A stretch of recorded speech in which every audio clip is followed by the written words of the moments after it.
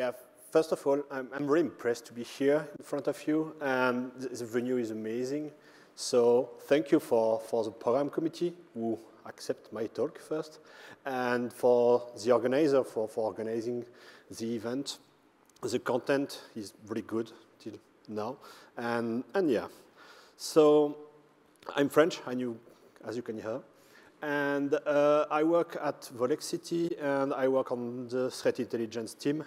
Previously, I worked for Kaspersky, GReAT, Cisco Talos, and I mainly work on CTI and malware analysis, and this topic will be about uh, this topic, malware analysis, and more specifically about uh, macOS malware. And uh, if you want to contact me after the presentation, if you have questions or if you want some file or stuff like that, you can contact me on Twitter. Uh, my DM are open, or on Keybase, and I will be happy to, to share what you need. It's, it's not a problem. So let's speak about the agenda.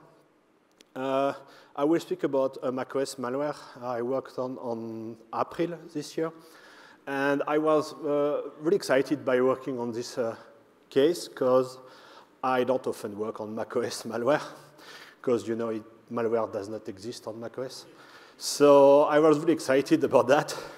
And um, the presentation will be about uh, the workflow. So uh, the first stage, the downloader, second stage, the malware itself with a different capability.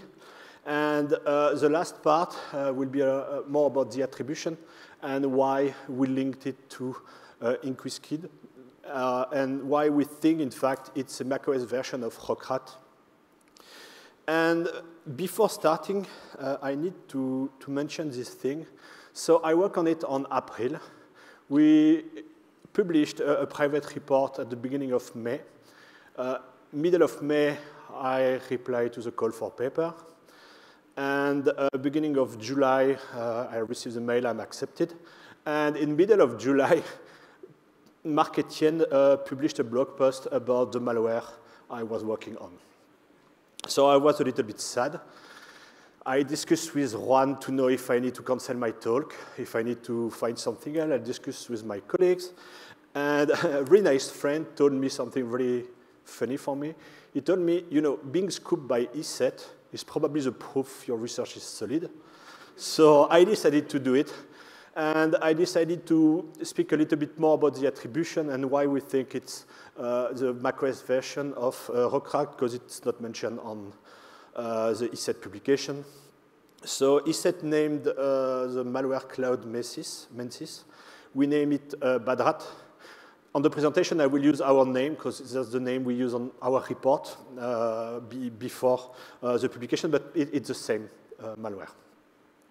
So, yeah. First, uh, let's discuss a little bit about Inky Squid. So it's uh, also named at APT uh, 37 by uh, Mandiant, ScarCruft by Kaspersky, Group 123 by uh, Cisco Talos. And it's a North Korean uh, threat actor. And mainly, from my knowledge, mainly target defector or people linked to this domain like lawyers and, and stuff like that. Uh, a big issue for, for us, and when you want to, to follow this specific threat actor, is most of the time they target uh, personal computer. So they don't target company, uh, they target directly uh, the, the users. They, they are known to use uh, spear phishing and water hauling, and they often use a couple of n-day exploit. So I think they use once zero day for few years ago, but most of the time it's not zero day, it's n-day. And we will see uh, they do exactly the same thing on, on this case. And uh, we already published two uh, stuff about this uh, specific uh, threat actor. Yeah, just for information, as ESET already published something, we won't do it. We won't publish anything after the publication. So if you, you want something, feel free to ping me. I will give you what you need. Uh, but I don't think we will publish something. It it won't be super interesting after uh, ESET publication. So why we name it Badrat? And it's simply on the compilation path on the, the sample, you have bad uh, in, the name. You also have a, a, name, which is Leon Work. And uh, you have a, a version system. So here it's uh, version 29. We think it's 2.9, in fact. But it means it's here for, for a couple of time. We only discovered it uh, on April this year, but it's, uh, it's here for, for a long time. So it's macOS malware, and it supports uh, x86 uh, architecture and ARM architecture also. You have uh, both uh, binary compile. And yeah. The first stage is a downloader. So as you can imagine, it downloads something. And the downloader uses pCloud. So you have an API key in the binary. It downloads uh, the next stage on pCloud. And in fact, it downloads two stuff. Uh, uh, no, it downloads one stuff, the final malware, badrat, and it also drops a persistence file. So here is the persistence file. So it's simply uh, a classical macOS daemon. It's no, nothing really complicated. But yeah, right. And uh, the purpose is to execute something named uh, Windows Server, which is funny for macOS malware. Something interesting in the downloader, so it doesn't do anything except downloading something, dropping the two file, but the developer forget old code, so it's not executed, but it's still here. And it's an old exploit from 2017. So I think they remove it because it doesn't work anymore, it's too old. But they remove the code, but they don't remove the, the, the code itself. And it's a privilege escalation. So it's uh, uh, something public, and it, it was probably used after the publication on GitHub because you really have a copy paste of uh, the, the, GitHub project. So it's probably uh, n-day used by this uh, threat actor. So if we look at uh, the malware itself, you really have all the capability of something for espionage. So the malware is able to execute arbitrary command, to provide a remote shell to the attackers, to perform screenshot, to perform keylogging. I put a screenshot of the, of the keylogin.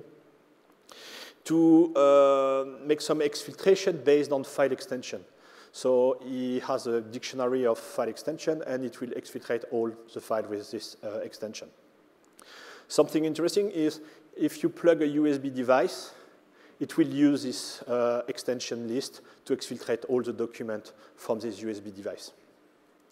And there is also an email parsing uh, mechanism. So uh, it parses this uh, user username library mail uh, repository and exfiltrate all the attachment received by the user, uh, always based on these extensions. And the attacker is able to execute Apple script directly on, on the malware.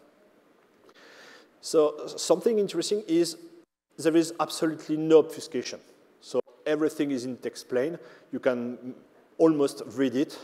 The only obfuscation is the configuration file, which is kind of more important because you have the API key, etc. And here I implemented the algorithm as they implemented it. Finally, it's a simple XOR, but they, they make a, a lot of weird stuff to do XOR, so it's basically their implementation. And on the configuration file, you have the version 29 in, in, in, in our sample, which means a couple of different versions can live together because each version will have its own configuration file. So yeah. The configuration file contains a lot of detail on the infected machine. So uh, the malware will connect the IP, country, username, hardware, host name, so uh, a, uh, a, full image of uh, the infected uh, system. This information will be sent to the attackers at the first connection. And the AP key for the cloud provider. And the malware support three cloud provider. So Dropbox, pCloud, and Yandex in our sample. Something interesting is uh, the cloud provider is identified by an integer, and it starts at 2. So we assume the past they had 1, because nobody started counting at 2. So they probably supported another provider in the past, but it was removed in, in this sample. And from a code point of view, the three uh, cloud provider, the code is here. It's, it's simply the configuration file will say I will use this code or this but you have the implementation embedded in the file for the free uh, provider. It will also contain uh, a path where the malware puts its temporary stuff. The extension, we will see the extension a little bit after, so that's the extension I mentioned previously. And uh, generated ID to identify the victim. We will see its, uh, its use on the C2 server. And a zip password. So everything is exfiltrated by using zip and a password. And the password is derived from the uh, randomly generated ID. So that's the protocol. It's, it's really simple. So everything is based on repository and file on the cloud provider. So the algorithm is exactly the same for all the uh, provider, all the cloud provider. And yeah, so basically all the information are sent to January. And uh, after everything is done on February, so the malware uh, read the repository, check for file for him. So you have the bot ID, so he, he knows where he needs to go. And if there is a file with a command, he would execute the command. If he needs to exfiltrate something, it exfiltrate on the good repository. Uh, for the shell, uh, the interaction is also done by file. So the attackers put the command on the file, the malware reads the command, execute, and push the output on the file. So everything is file and repository.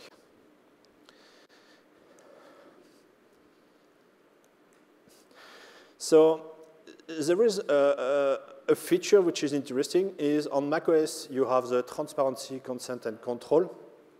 So basically when an application wants to be able to do, for example, screenshot, you have a pop-up saying this application want to do screenshot, do you allow uh, this, this capability, this feature? And the attackers uh, found some trick to bypass it. So everything is stored in database, which is named tcc.db, and it's a SQLite uh, database. And um, so one approach is to directly perform SQL request to the file and said, I authorize my malware to do screenshot, to do keylogging, etc., etc.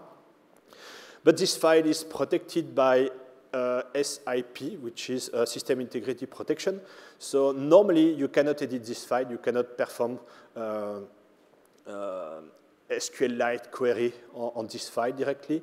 So the malware has two branch. Which one is, uh, the first one is, OK, SIP is disabled, so I can edit the file. I, I'm, I do not have any issue. So in this case, it directly performs SQLite query. And if it's enabled, the malware will exploit uh, a vulnerability to edit the file. And if nothing works, uh, it doesn't do anything, and the user will receive the pop-up, and, uh, and yeah, they need to enable uh, some feature uh, manually. But in this case, the CVE, is a little bit uh, more recent than the one that was in the downloader. This one is 2020. So yeah, now if we look at uh, similarities between RoKRAT, it's, it's also named uh, DOGCALL by Mandiant, I think, which is uh, uh, a Windows malware. And it, it's one, I think it's the main malware used by this group on, on Windows system. And if you look, I put a small table about the two uh, malware for, for Windows and macOS. And the two malware use the same cloud provider. So it's the same free cloud provider. And the way the developer implemented it is exactly the same. You have the code of the free cloud provider, and you have a flag somewhere. In macOS, it's a configuration file. On Windows, it's a little bit different, but it's a flag saying, I will use this cloud provider with this API key. So it's exactly the same thing. If we look uh, at the uh, extension targeted by the attacker, so it's first thing, they have a list of extensions, both malware. It's not exactly the same if you, if you look. The main difference between the Windows version from last year and the macOS version of this year is first, the new version support the extended uh, document like docx, xmlx, uh, etc. But you can see uh, the HWP extension, which is Hangul Word Processor. It's uh, the word used in South Korea. So it's, it's kind of specific. And you also have really uh, uncommon file. Typically, I think about uh, which one in the list here, AMR. So .amr, it's uh, a compressed audio file used by uh, you know, speech coding when you speak and it directly writes your text. So it, it's really specific. And, uh, and yeah, so it's not exactly the same extension, but it's, it's really close. Uh, the design of the malware is really, really similar. It, it, obviously, it's macOS and Windows, so if you compare the code, it's different. But the logic is uh, really similar. And, uh, and the way the protocol used on the cloud provider, it's not exactly the same. On Windows, it doesn't use mounts, uh, etc., but it's, all, it's, it's based on file and repository. So we have something really, really uh, uh, similar.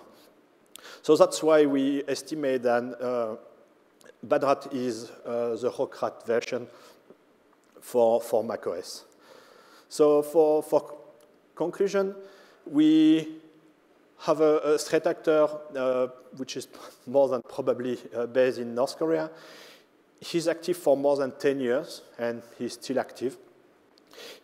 Before, he was mainly known for using RoKRAT implant on, on Windows. Today, we know that uh, they also have a macOS version of, of the malware. They are known to use social engineering and exploit n-day vulnerabilities. So in this case, we don't have the infection vector, so we don't know how the malware is deployed. But if we would have to bet or to guess, uh, we would not be surprised if they use waterholing and n-day uh, exploit to, to deploy the, the malware, at least the downloader and after everything uh, is installed. But we, we don't know. So yeah, thank you for, for your time. If you have questions, feel free to, to write me. If you need the sample or, or whatever, feel free to, to, to ping me. And if you have questions, we have two minutes.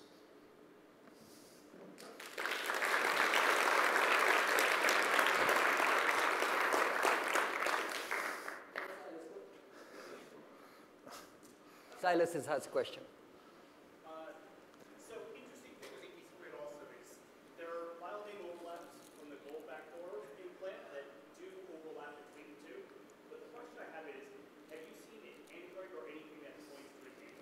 Can you repeat no. the question?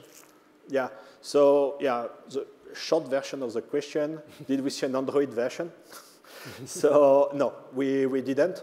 But uh, for us, at least, it's kind of complicated because Android generally they speak on WhatsApp directly with the target and uh, like a date or something like that, and they install the application. So it, if it's not on VT for us, it's kind of dif difficult to, to, to have the answer. Maybe you should ask to people at Google they will probably have the answer. So they were also using Google and Microsoft for their C2 servers Yeah. All right, I heard that uh, Fireball is good for jet lag, so cheers.